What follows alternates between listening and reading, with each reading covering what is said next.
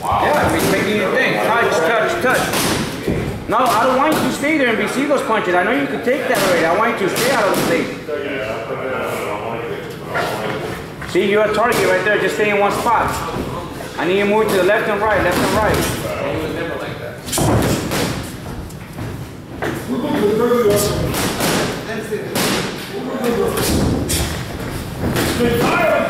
Z getting better.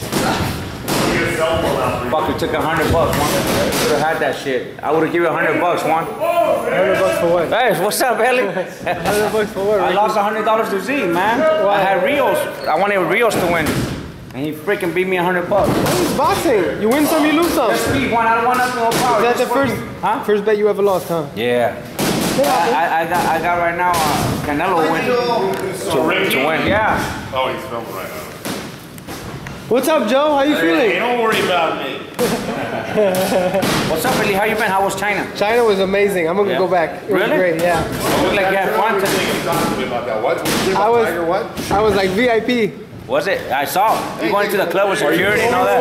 Yeah. How was that next guy you were asking? No, no, no, no.